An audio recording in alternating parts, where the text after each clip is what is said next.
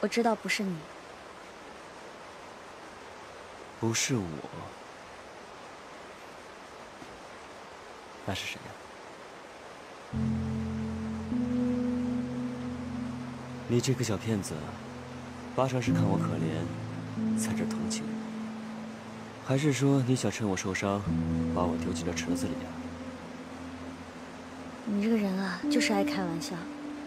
我可是一直都很认真的，我认真的想要把一个人留在我身边，想让他忘记那些不该由他承担的责任，想让他在我身边笑，装傻充愣也没关系。可是他总觉得我在开玩笑。